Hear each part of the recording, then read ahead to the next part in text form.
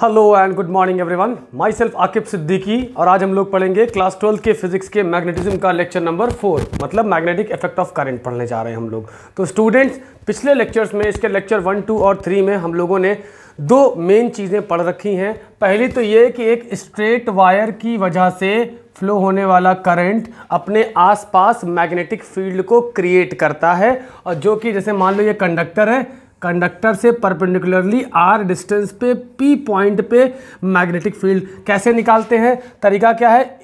Lower and से मिलाया, उसको फाइव वन बोल दिया, और अपर एंड से मिलाया, उसको फाइव टू बोल दिया, ठीक? और मैग्नेटिक फ़ील्ड का फॉर्मूला क्या बनता है यहाँ पे? Mu naught upon four pi I upon R, और sine five one plus sine five two. For infinite conductor for infinite conductor आपका फाइव वन बराबर फाइव टू बराबर नाइन्टी डिग्री हो जाता है। तो sine ninety plus sine ninety one one plus one two और ये टू कट जाता है तो बी कितना आता है? बी इन्फिनिटी अगर देखो इन्फाइनाइट कंडक्टर की वजह से तो म्यू नॉट आई अपॉन कितना आएगा? टू पाई आर आ जाएगा। है ना? अच्छा एक चीज़ समझने वाली ये है कि अगर मान लो कि वो पॉइंट जहाँ पे मैग्नेटिक फ़ील्ड पता करनी है, वो कंडक्टर की ही एक्सिस पे लाई कर रहा हो। मतलब जैसे ये पॉइंट यहाँ लाई करे, यहाँ लाई करे तो यहाँ पे मैग्नेटिक फ़ील्ड क्या होगी? यहाँ पे मैग्नेटिक फ़ील्ड क्या होगी? If the point lies on the axis of the conductor मान लो ये पॉइंट्स हैं। मान लो यहाँ पे पूछ लिया, इसी एक्सिस पे लाई कर रहा है ना ये? मान लो यहाँ पूछ लिया तो क्या होगा? तो ये चीज़ समझने के लिए आप लोग ये समझो। जैसे मान लो, ये है। कंडक्टर आपका ऐसे है, ठीक? ये करंट जा रहा है। तो ऐसे जाके मान लो ऐसे मुड़ गया। अब यहाँ पे पूछ रहा है कि मैग्नेटिक फ़ील्ड क्या होगी इस कंडक्टर की वजह से? मैं मान लो मुड़ गया ऐसे। तो इस कंडक्टर की वजह से इसी के एक्सिस पे या किसी भी कंडक्टर इसमें करंट फ्लो हो रहा हो, उसी के एक्सिस पे मैग्नेटिक फ़ील्ड कितनी होती है बेटा? ज़ीरो के बराबर होती। क्यों होती है? जैसे मान लो हमें यहाँ पे मैग्नेटिक फ़ील्ड चाहिए इस कंडक्टर की वजह से। तो लोअर एंड से एंगल कितना बन रहा है? अगर मिलाएँ तो एंगल तो फाइव वन कितना बन रहा है? ज़ीरो और अपर एंड सब जब सेम एक्सिस पे आ जाते हैं तो एंगल कितना हो जाता है? ज़ीरो आता है। तो इसीलिए फाइव वन हो जाएगा और फाइव टू भी दोनों ज़ीरो हो जाएँगे। तो यहाँ पे कितना आएगा? Sine zero plus sine zero कितना आएगा? ज़ीरो प्लस ज़ीरो कितना आएगा? One sorry zero plus zero कितना आएगा? ज़ीरो और ज़ीरो इंटू समथिंग ज़ीरो तो magnetic field at the axis of the conductor या any point lying on the axis of the conductor will always be zero वहाँ पर magnetic field कितनी होगी? Magnetic field will always be zero जैसे मान लो कि आपका कंडक्टर ये गया है, ऐसे। आई करंट जा रहा है। यहाँ पे पूछ रहा है मैग्नेटिक फ़ील्ड क्या है? यहाँ कहीं पे भी मतलब। तो सब जगह मैग्नेटिक फ़ील्ड क्या होगी? ज़ीरो होगी। क्लियर है? ये बात नोट कर लीजिए आप लोग। ठीक है? फिर हम लोग देखेंगे सर्कुलर रिंग की वजह से हम लोगों ने क्या पढ़ रखा है। इसे आप लोग चाहें तो वीडियो पॉज करके नोट कर सकते हैं। चलो। जैसे मान लो आ, अच्छा दूसरा पॉइंट हमारा क्या था? हमने क्या पढ़ा हुआ दूसरे पॉइंट में? सर्कुलर रिंग की वजह से मैग्नेटिक फ़ील्ड पढ़ रखी है। Magnetic field due to a circular ring carrying a current मान लो एक सर्कुलर रिंग है जिसमें I amount of current flow हो रहा है और जिसका रेडियस क्या है? सेंटर सी है, रेडियस क्या है? ए है। तो बी बराबर कितना पढ़ रखा है आपने? Mu naught I upon twice of radius, है ना? और इसके कंपोनेंट्स भी बताए हैं कि अगर किसी अल्फ़ा एंगल के लिए पूछा गया है तो कितना आएगा? अल्फ़ा अपॉन 360 डिग्री और mu naught I upon two A. Alpha की वैल्यू रखते जाइए। फॉर सेमी सर्किल अल्फ़ा आपका 180 डिग्री हो जाएगा, फॉर क्वार्टर सर्किल अल्फ़ा 90 हो जाएगा और अल्फ़ा एंगल के लिए अल्फ़ा या थीटा कुछ भी हो सकता है, ठीक है? अब हम लोग क्या करेंगे? एक तो ये हो गया मैग्नेटिक फ़ील्ड ये आपका हो गया सर्कुलर की वजह से सर्कुलर मैग्नेटिक फ़ील्ड कितनी आती है? B is equals to mu naught I upon two A at centre की बात हो रही है तो देखो यहाँ मैग्नेटिक फ़ील्ड क्या है? इन्वर्सली प्रोपोर्शनल टू रेडियस है।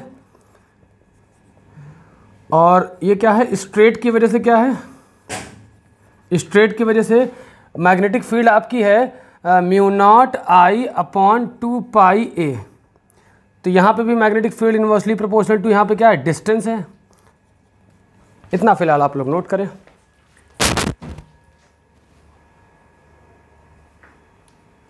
चलो। अब देखिए स्टूडेंट्स हम लोग करेंगे, इन्हीं दो कॉन्सेप्ट पे बेस्ड क्वेश्चंस करेंगे।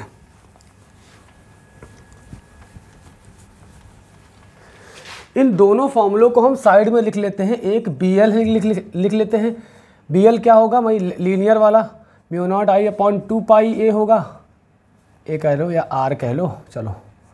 रेडी आर मतलब डिस्टेंस और यहाँ पे क्या होगा? बी सी बी सी मतलब सर्कुलर की वजह से। Mu naught I upon two A कर लो। ए आपका रेडियस है। आर यहाँ पे डिस्टेंस है। ठीक है? अब देखिए, जैसे मान लीजिए कि हमें पूछा गया है फाइंड बी मतलब magnetic field at magnetic field कहाँ पता करनी है हमको? एट दी सेंटर इसको हमने यहाँ पे सी नाम दिया है। जैसे मान लो कि ये एक हमारी सेमी सर्कुलर रिंग है और ये करंट जा रहा है, ठीक? आई अमाउंट ऑफ़ करंट जा रहा है और ये ये इसका सेंटर इसी एक्सिस पर लाई कर रहा है। ये। तो देखो बेटा सेंटर में दो तीन चीज़ों की वजह से मैग्नेटिक फ़ील्ड बनेगी। एक तो इसके वजह से देखते हैं क्या है बी वन और एक इस सेमी सर्कुलर रिंग की वजह से बी टू और एक इसके वजह से बी थ्री ठीक? दो चीज़ें आप लोग यहाँ पे गौर करो कि ये जो सेंटर लाई कर रहा है, ये सेंटर, ये इस कंडक्टर के एक्सिस में ही तो लाई कर रहा है और इस कंडक्टर के भी एक्सिस में लाई कर रहा है। तो यहाँ पे मैग्नेटिक फ़ील्ड कितनी हो जाएगी? ज़ीरो जो कि हम ऑलरेडी बता चुके हैं। मतलब कि B1 बराबर B3 बराबर कितना हो जाएगा आपका? ज़ीरो। क्यों? मैंने बताया है अभी इसी चीज़ को इसीलिए। ठीक है? समझ रहे हो? इसी एक्सिस पे पड़ने वाले कोई भी पॉइंट पे, इन दोनों कंडक्टर की वजह से मैग्नेटिक फ़ील्ड क्या हो जाएगी? ज़ीरो यही बात अभी मैंने आप लोगों को समझाई है। ठीक है? अब मैग्नेटिक फ़ील्ड केवल एक चीज़ की वजह से बनेगी। राइट हैंड रूल सिखा चुके हैं पिछले लेक्चर्स में। कर्ल उंगलियों को मोड़ना है। कर्ल के डायरेक्शन में जिधर वो सेमी सर्कुलर रिंग मुड़ी हुई है और जिधर करंट जा रहा है। करंट के डायरेक्शन में और थम आपको क्या बता देगा? मैग्नेटिक फ़ील्ड बता देगा। तो यहाँ से पता चलेगा कि बी टू क्या आएगा? आउटवर्ड होगी। कितनी होगी? वो हम देख के बताते हैं। बी टू कितना आएगा? सेमी सर्किल की वजह से। फुल सर्किल की वजह से क्या है? Mu naught mu naught times the current मान लो इसका रेडियस है R mu naught times the current upon two times of radius ये तो फुल सर्किल की वजह से होगा तो हाफ़ सर्किल की वजह से आधा हो जाएगा तो बी टू कितना आ जाएगा? Mu naught I upon four times of R तो यहाँ पे मैग्नेटिक फ़ील्ड बी नेट कितनी आएगी ज़रा बताइए? ये दोनों तो ज़ीरो हो चुके हैं, लेकिन फिर भी एहतियात के तौर पर दिखा देते हैं ताकि आप लोग को समझ में आ जाए। फ़र्स्ट की वजह से ज़ीरो थर्ड की वजह से ज़ीरो केवल इसके वजह से जो मैग्नेटिक फ़ील्ड है, वही नेट मैग्नेटिक फ़ील्ड होगी आपकी। क्या होगी? Mu naught I upon four R इसे आप लोग नोट करें।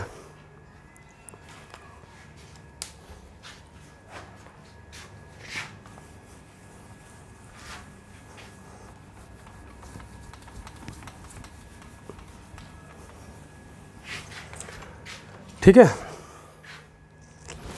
अब जैसे मान लो कि ये एक ऐसा कंडक्टर है स्ट्रेट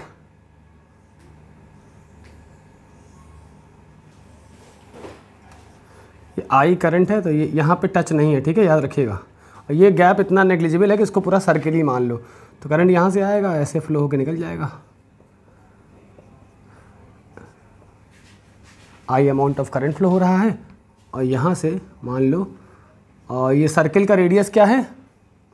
मान लो ये रेडियस भी इसका ए है, और ये पी पॉइंट पे। तो मैग्नेटिक फ़ील्ड पता करना है फाइंड बी एट पी देखो पी पॉइंट पे दो चीज़ों की वजह से मैग्नेटिक फ़ील्ड मिलेगी। एक इस स्ट्रेट कंडक्टर की वजह से, और याद रखिएगा ये इसका अपर एंड इनफाइनाइट है और लोअर एंड भी क्या है? इनफाइनाइट है। एक इस इनफाइनाइट कंडक्टर की वजह से और एक इस सर्कुलर रिंग के सेंटर पे। तो देखो इनफाइनाइट कंडक्टर की वजह से मैग्नेटिक फ़ील्ड मान लेते हैं। इस स्ट्रेट कंडक्टर की वजह से मैग्नेटिक फ़ील्ड कितनी हो गई? B1 और इस कंडक्टर सर्कुलर की वजह से हो गई आपकी B2 तो स्ट्रेट कंडक्टर की वजह से रूल क्या बताया गया है? मैग्नेटिक फ़ील्ड कहाँ जाएगी?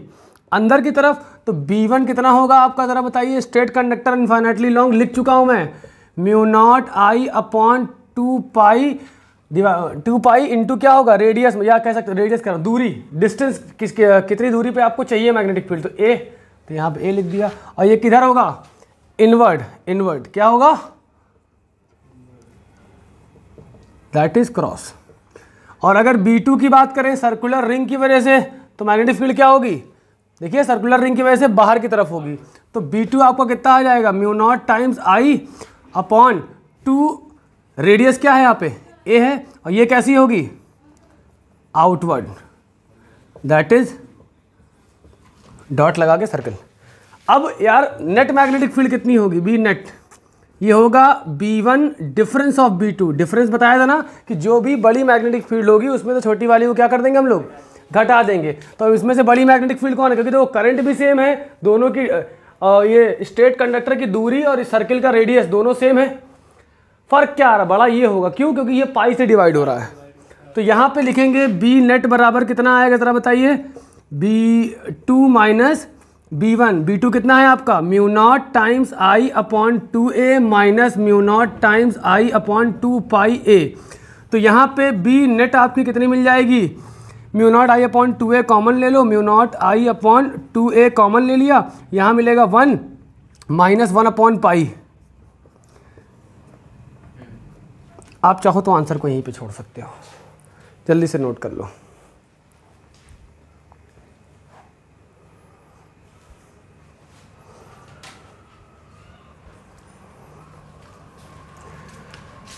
आप लोग वीडियो पॉज करके भी नोट कर सकते हो। अब देखिए एक और वैरायटी क्वेश्चन की कराते हैं।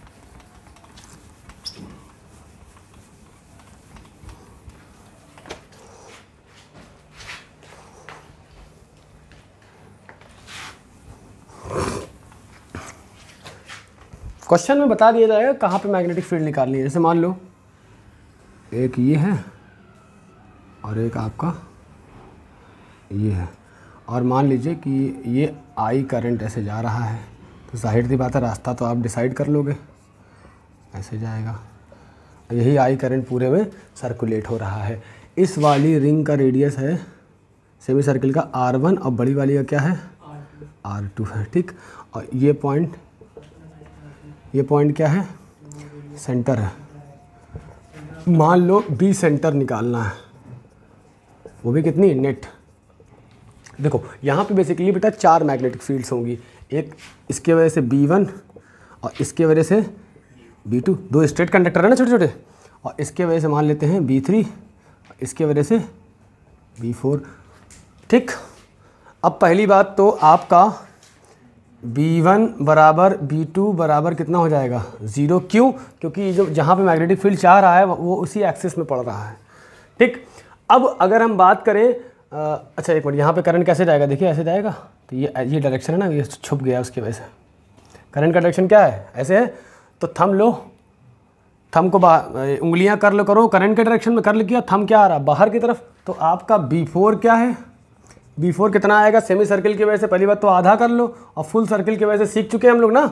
Mu naught times I current तो सब में सेमी फ्लो हो रहा है। डिवाइड बाई टू ए क्या है आपका? रेडियस तो इस सेमी सर्किल का रेडियस कितना है?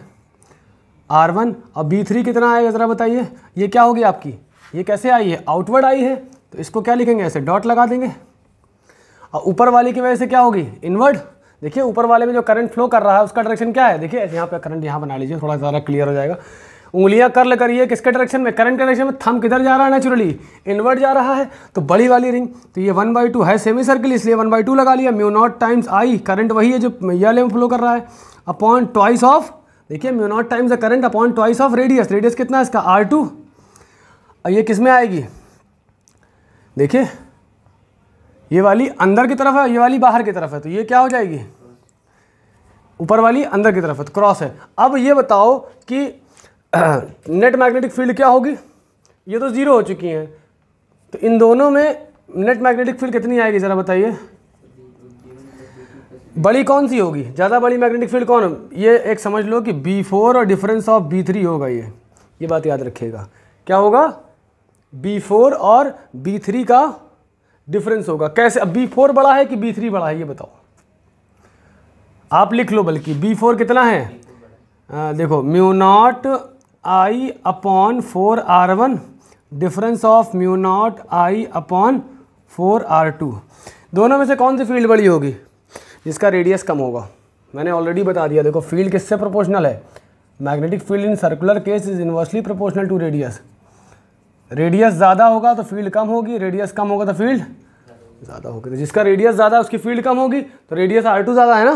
दिख ही रहा साफ़ साफ़ तो यहाँ पे हो जाएगा बी नेट ये हो जाएगा B four minus B three तो इन दोनों में क्या होगा? Mu naught I upon four R one minus mu naught I upon four R two.